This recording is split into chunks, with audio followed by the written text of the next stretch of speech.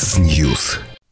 Каждую среду в полдень на Радио Болтком. Да, афиш у нас всегда начинается со среды. Подробный обзор культурных событий в мире классической музыки.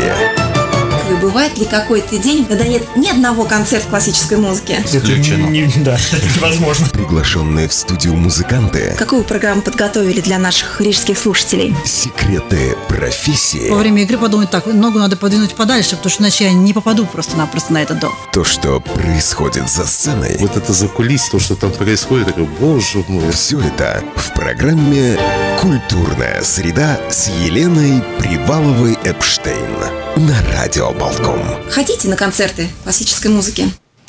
Добрый день, уважаемые слушатели. Это программа «Культурная среда». И вот Елена Привалова-Эпштейн в студии. Добрый день. Добрый день, дорогие радиослушатели. Добрый день, Олег.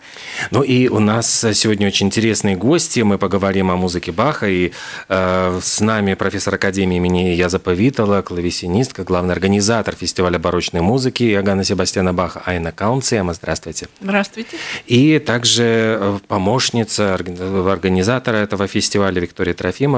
Добрый день. Нам помогает Евгений Копейн за звукорежиссерским пультом. Ну и давайте поговорим. Афиша, афиша. А, Вы знаете, на самом деле, а, не случайно сегодня наш гость Айна Каунцем со своим Баховским фестивалем, который откроется в ноябре, но на самом деле Бах начнет еще звучать раньше.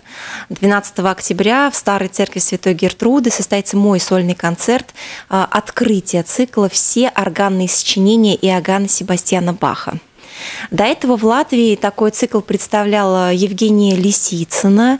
Она в течение трех лет исполняла в Домском соборе а, все произведения Иоганна Себастьяна Баха. У него их огромное количество. И стоит отметить, что у Баха настолько ровная музыка, что можно почти каждое произведение причислить э, к ряду шедевров. Откроет программу 12 октября. Это будет сольный концерт. Конечно же, там будет э, раннее сочинение Ганна Себастьяна Баха «Токката и фуга ре минор», но также будут и поздние сочинения, например, «Прелюдия фуга до минор». Это лейпцигский период и лейпцигские хоралы.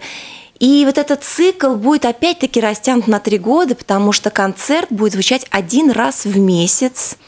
И организаторы меня также попросили добавить ансамблей, поэтому концерты вот именно такой длительности. Потому что а, не всегда есть возможность собрать полный зал именно на органную музыку. И поэтому еще и захотелось мне, а, чтобы слушатели познакомились не только с органной музыкой Иоганна Себастьяна Баха, но и с камерным творчеством, а, но сольным. Так, в ноябре Ирина Валикжанина исполнит э, сюиту номер один для виолончели соло. И также у нее в руках все шесть сюит. И постепенно за три года она также познакомит наших слушателей э, с этим циклом. Юрий Савкин исполнит сол- сольную сонату для скрипки соло. Только представьте, да, то есть мы привыкли уже, что сочинение для органа соло – это норма. Иоганн Себастьян Бах и орган. А не все знают, что Иоганн Себастьян написал огромное количество произведений для самых различных инструментов соло. Фортепиано соло это понятно, а вот скрипка соло, виолончель соло, более того, флейта соло. И, и как раз флейта соло будет звучать а, в феврале приедет замечательная исполнительница на флейте Траверса э, Дарина Облогина. Она окончила Московскую консерваторию, а сейчас проживает в Германии и обучается э, в высшей школе музыки в Штутгарте. А в январе э, такой вот э, будет исполнять также мы исполним сонаты для флейты и клавира пар- клавир это емкое значение клавесина и органа в то же время. И на флейте будет играть Елена Иванова-Летягина. То есть вот так один раз в месяц будет всегда звучать Бах. Но концентрированный Бах у нас будет в ноябре и в декабре. И как раз сегодняшняя наша гостья Айна Канцема, э, директор фестиваля Иоганна Себастьяна Баха в Риге, которому уже 19 лет. 19 Вы лет. представляете, 19 фестиваль. Это сколько нужно иметь и усердия, и выдержки. И не всегда я уверена, что за эти 19 лет э, получалось э, привлечь государственные фонды для а, финансирования. То есть вот на протяжении 19 лет служить искусству, такому замечательному фестивалю. И вот Айна Калнцема, профессор а, Академии музыки Яза Витала, расскажет нам об этом фестивале. Добрый день. Здравствуйте. Ну, я со своей стороны полностью соглашаюсь с Ириной – что эти 19 лет это, это работа огромного труда и энтузиазма, скажем, тоже, а не без этого. И порой казалось бы, ну все, все, я уже кончаю этим делом, больше не хочу, потому что это столько отнимает. Но когда фестиваль заканчивается, и все артисты довольны, и публика просто счастлива, тогда я думаю, нет, наверное, стоит продолжать. Но, конечно, безусловно, очень многое зависит от, от финансов, как мы все знаем. Э, к сожалению, культура, культурные мероприятия, э, это во всем мире так, э, не, не является самоокупаемым. Хотя бы потому, что если я буду сама играть только – и моя соседка там, кто-то вот только на студенты там все, эм, тогда, конечно, это дешево. Э, я, причем я могу играть бесплатно, скажем, и так. Но тогда кто же придет, в конце концов, слушать? Э, ну, послушали один раз, и все. А моя цель была, когда я создала этот фестиваль, э, привозить из Европы не только из Европы. Я приглашала из Москвы, из Петербурга. Приглашать э, музыканты высокого класса, которые э, будет ну, показывать свое мастерство, то есть дать возможность рижская, не только рижская, скажем, публика Латвии, живем услышать вот эти творения, которые э, не, э, несколько, даже много из них, которые я пригласила, являются мирови, мировыми звездами. Кто в этом году принимает участие в фестивале? В этом году мы открываем э, с замечательным э, оркестром барокко из Брюсселя.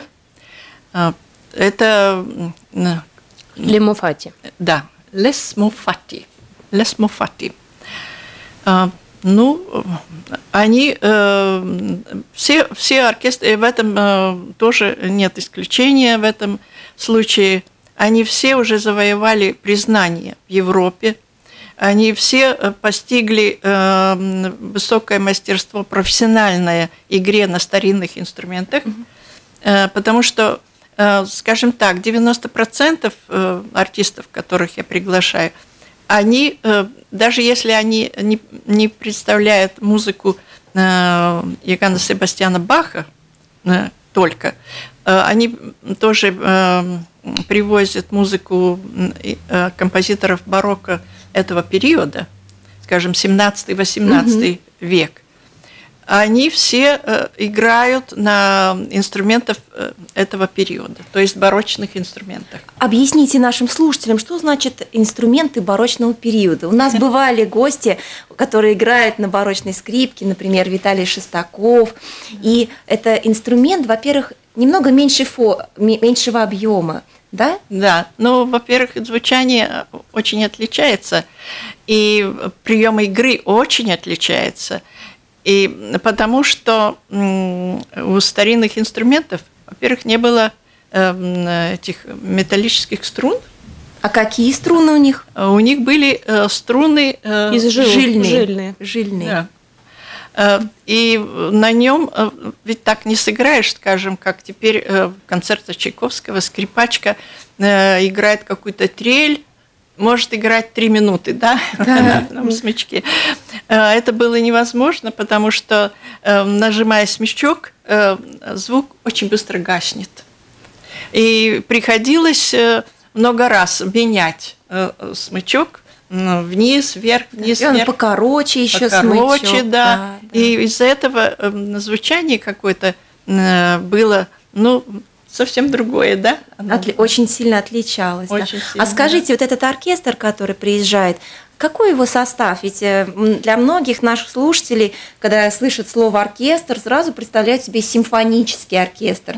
Но ведь барочный оркестр это, можно сказать, как камерные ансамбли. То есть, наверное, две-три скрипки, э, пара виолончелей. И виолончели или там играют на гамбах? Как в этом, как в этом ансамбле?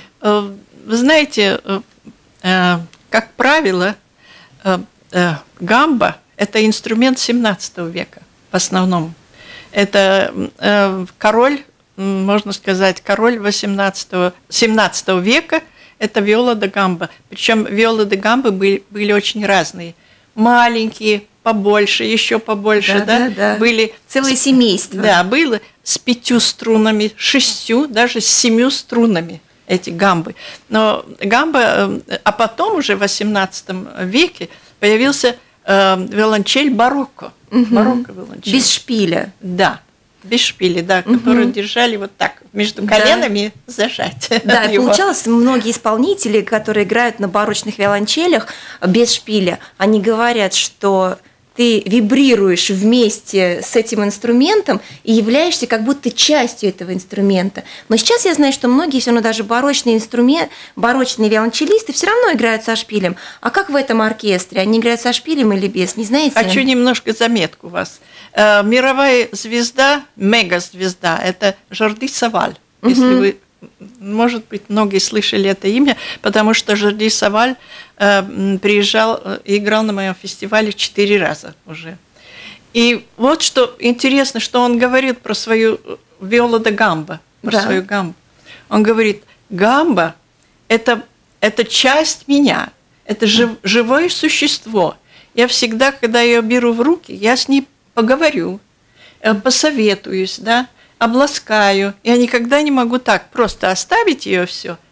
То есть, то есть я вот это Да, заметка да, к, да. к тому, что вы сказали, да. А еще, а, а если насчет э, э, Лесмуфати, э, там э, вот тоже вы правильно сказали, это ансамбли. Только э, они Ансамбль бывают солистов. да, побольше или поменьше, да. Эм, Ну, в этом случае их много, их э, 16 человек. Как камерный ансамбль получается. Муз- да? му- музы- музыка, да. Но это уже называется как оркестр. Эм, э, И там, конечно, барочные скрипки, э, барочный э, виолончель. Виолончель, потому что э, они исполняют музыку Баха, Мгм. а это уже 18 Виолончель, век, да, да. это барочный виолончель, да. Духовые инструменты есть там или А, только струнный? Да, тоже будут духовые инструменты, гобой, барочный, Барочный га- гобой, барочный гобой, и будет два солиста, вокалиста. Потому, А, еще вокалист. да, потому что в программе кантата Баха Какие? Кто помнит?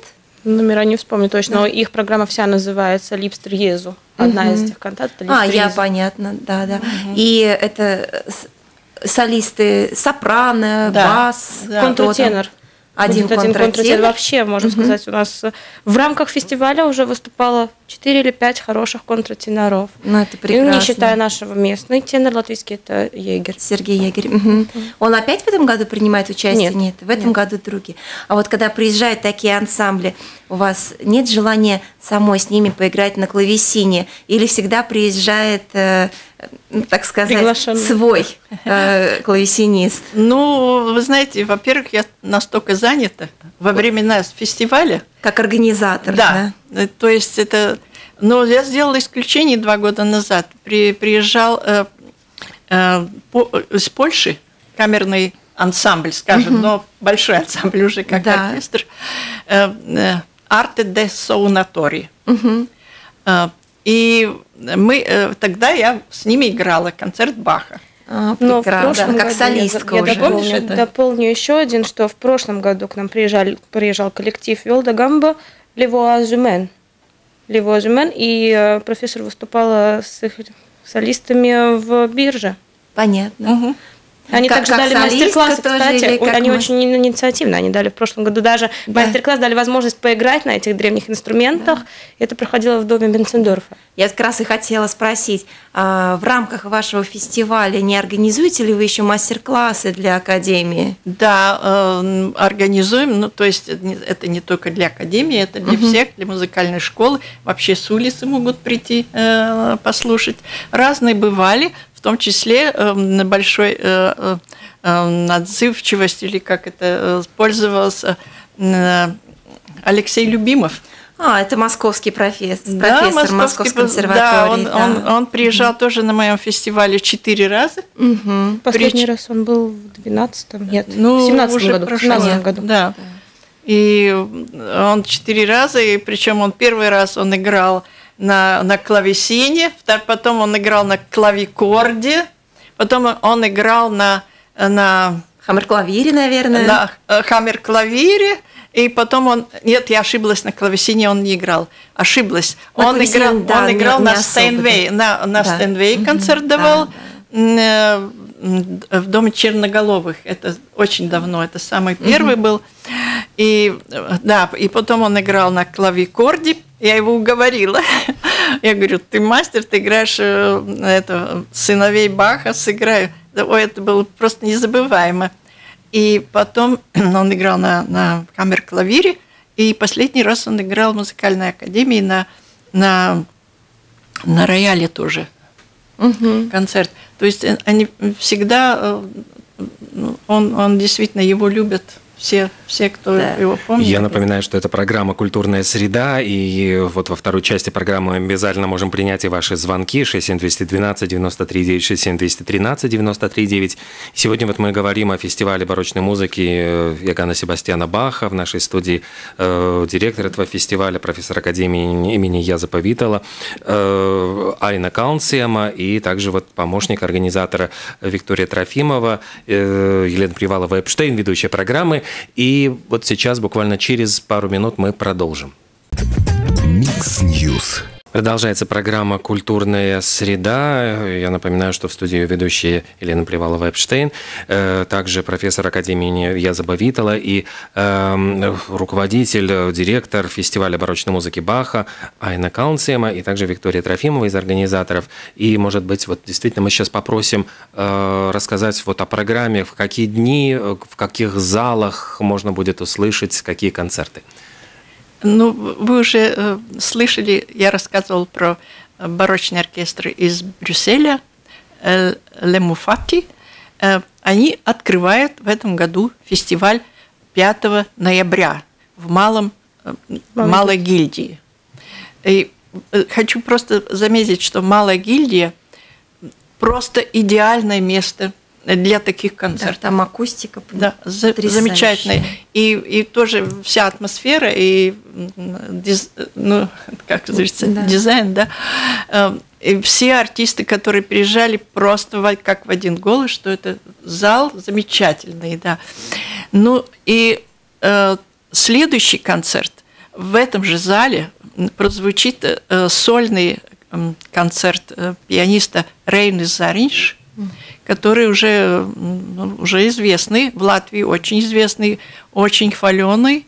Э, И целая программа произведений Баха на рояле. Э, Это э, с этим мы, как говорится, чисто баховскую программу заканчиваем в этом году. Потом На будет открытии тоже будет только Да, баховская да, программа. вот. Там будут две кантаты, да? Или одна Э, кантата? Это на открытии. На открытии. Века. Кроме кантат еще что-нибудь будет на А, открытии? Концерт Да. Бранденбургский концерт третий. Ага. Да. Да. И будет еще произведение Граупнера. Его э, Понятно. Вот это и есть этот концерт для гобоя. Да. А вот э, Зарин, что будет играть э, на рояле, какую программу?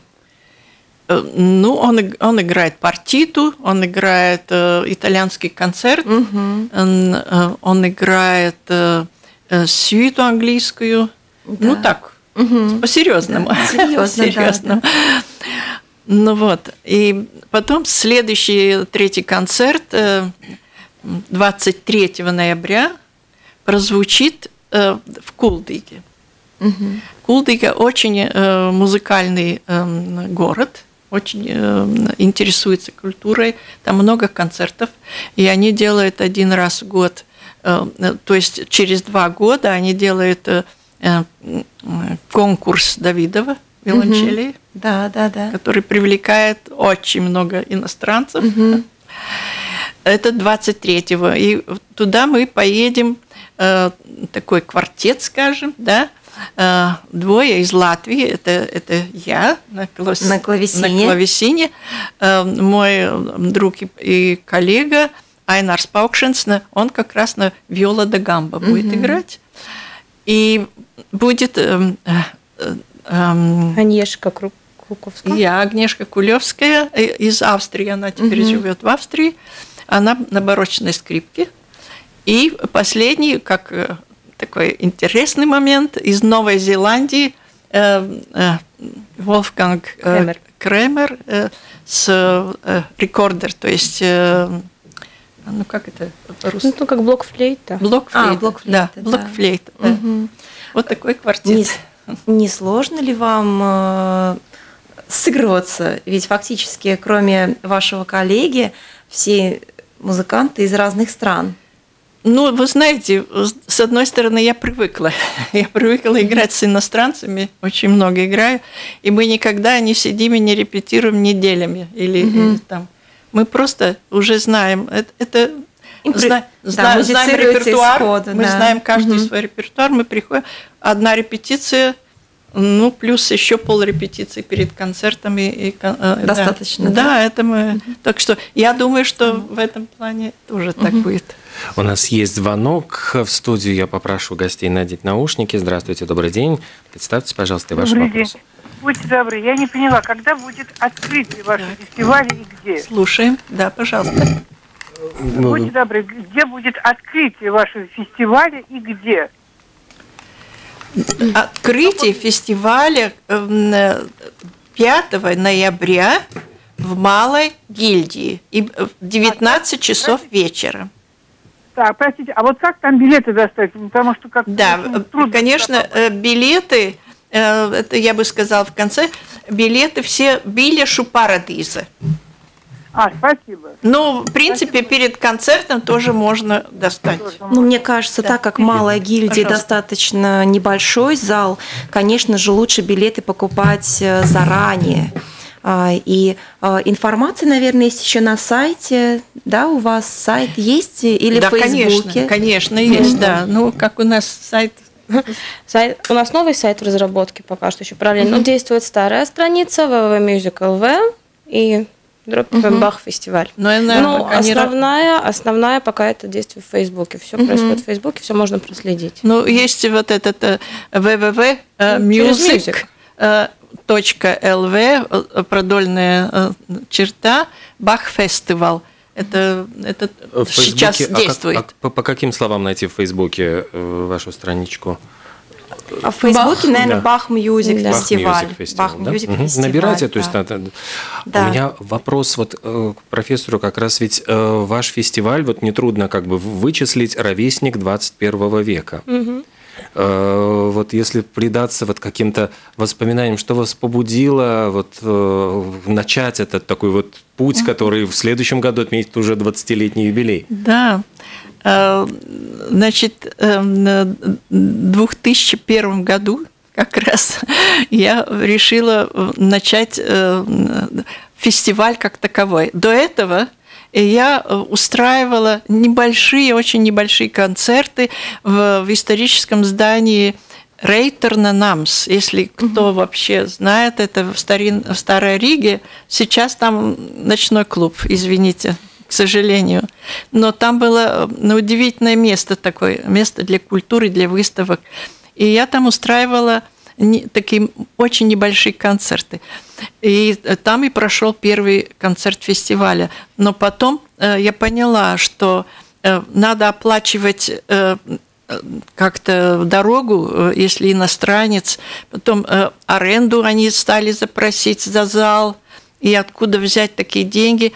И я решила э, переделать и начать по-новому, как фестиваль.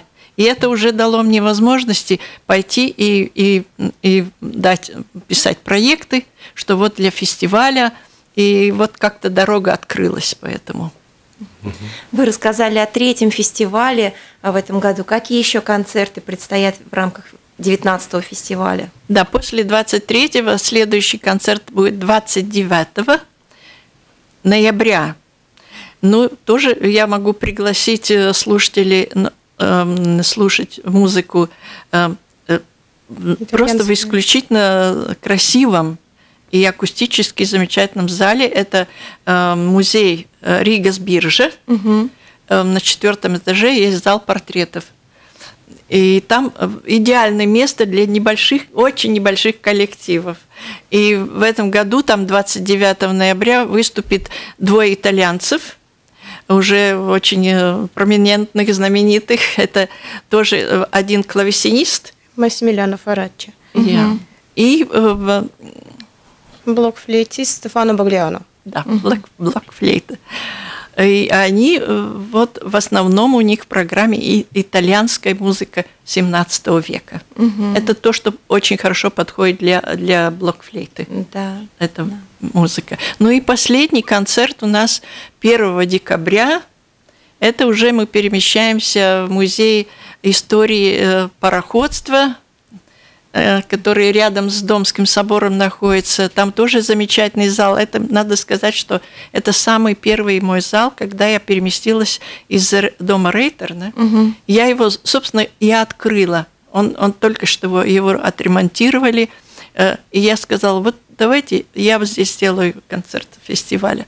Э, очень замечательная акустика. Кстати, там и, и, и Уткины выступали вместе со мной в этом зале. И там будет в этом году, 1 декабря, концерт э, нашей очень известной пары э, э, пианисты «Четыре руки» играющие. Угу. Это Антра и Нормунс Викснес. Угу. Вот они опять обратились к Баху в своем творчестве, но не только. Но Баха, они находят аранжировки произведений Баха Э, аранжировка э, ну, современников, скажем, не, ну, это не современники, это уже 19 века, э, композиторы, которые любили Баха и сделали такие аранжировки. Скажите, почему именно Баховский фестиваль? Почему не просто фестиваль старинной музыки? Что для вас Бах? Поскольку я сама, э, когда училась в Петербургской консерватории как пианистка, я решила параллельно пройти и органный факультет. Не знаю, это необъяснимо, что-то меня тянуло уже в то время к старинной музыке, тянуло меня э, к музыке Баха. И я скажу, что я, я этого сделала, наверное, правильно. И теперь, когда меня спрашивают, как вы можете определить музыку Баха вообще? Э, что это такое, что она нам дает? Я обычно говорю, что она э, как э, гомеопатия. А она, вы не замечаете? Вы, может быть, и не хотите, но она лечит вас. Она лечит вас духовно, она обогащает вас духовно. И, в принципе, я всегда Э, об этом э, согласна была. Стремитесь ли вы в вашей программе, вот Баховский фестиваль, э, исполнять произведения, например, каждый раз новый, ведь у Баха такое количество произведений, более тысячи. И я даже не могу себе представить, сколько нужно времени, чтобы исполнить все произведения Баха. Есть ли такое, чтобы вы стремились каждый раз давать что-то новое? Или, в принципе, это не является вашей задачей на фестивале? Нет, э, это не является моей задачей. И мне кажется, что это даже очень интересно для слушателей, вот послушать, как Баха интерпретирует, скажем, французский какой-то оркестр, как Баха интерпретует э, германский, ну, Нет, немецкий. я имела в виду, например, оркестровая свита э, си минор, самая знаменитая, или ре мажор. Да, ее да. много, много раз играли на моем фестивале, но всегда же артист по-другому вкладывает. А какие себя. ваши, как клавесинистки, самые любимые концерты Бах? Вы играете концерты сами? Я играю, да.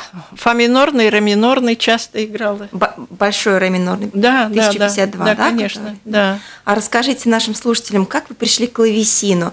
Конечно, у нас бывают в студии органисты, так как я сама органистка, вот. И часто спрашивают, ну как можно прийти к такому инструменту? Клавесин еще более экзотический инструмент для наших слушателей, более тонкий, а, мне кажется, можно сказать, даже рафинированный, э, изысканный. Как вы пришли к клавесину? Ну, я вам скажу так, что когда я закончила консерваторию петербургскую, вернулась в Ригу и э, зашла, э, был тогда на Кальчу улице, там теперь там ничего нет, я не знаю, что там происходит, был зал камерный. И нашла в одном углу запыленный, какой-то страшненький э, клавесин, э, который был не, не копия, как, как сейчас все играют на копиях да, во всем мире, ну, где барокко исполняют, а вот, вот старинного образца. Ну, то есть э, в советское время мы закупали у, у Германской Демократической Республики, мы закупали, э, эти были сделаны в мебельной фабрике. Угу. То есть там был только сам принцип э, вот, дергания струны. Понятно. Маленький, э, так, скажет, э, скажем так, э, ну, перышко дергает струну. Это принцип как Клавесина. страна, да, как, э, э, как для извлечения звук. звука. Да, для извлечения звука. И э, принцип был, остальное все было ужасно. Но мне что-то привлекло. Что-то угу. мне очень привлекло. И мои коллеги тогда говорили, чего ты возишь соседям? Это бренчание, одно бренчание, больше ничего. Может быть, так и было в то время. Но я как-то увлеклась и потом нашла мыслящие едино, и мы стали какие-то ансамбли пробовать, и все. И потом у меня удалось поехать учиться именно клавесину на Западе, угу. на разные страны. И, конечно, сейчас копии имеют совершенно другой звук. Они угу. просто их можно слушать и слушать. Да. На каком инструменте будет используется на концертах, на вашем фестивале? Какой клавесин? Клавесин – копия образца 1761 года, мастер Бланше французский. Угу. Очень хороший инструмент, который принадлежит мне. Угу. Ну вот, я его использую.